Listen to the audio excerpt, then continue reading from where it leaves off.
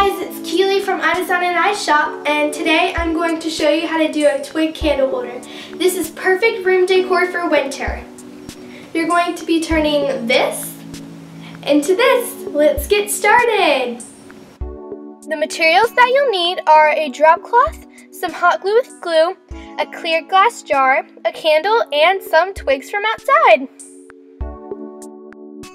First, you want to measure your sticks out onto your jar.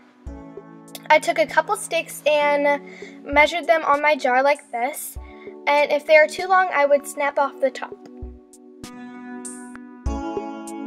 I think it's good to have a couple sticks the right size and ready to glue onto your jar.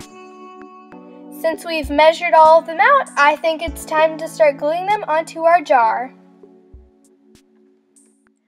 I found it easy to do a zigzag line and then put on multiple sticks at a time. It's just easier to do it that way. Once you're done, it should look like this.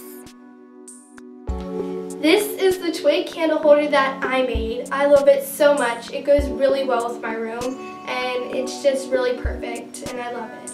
So what I put in my candle are these battery operated plastic tea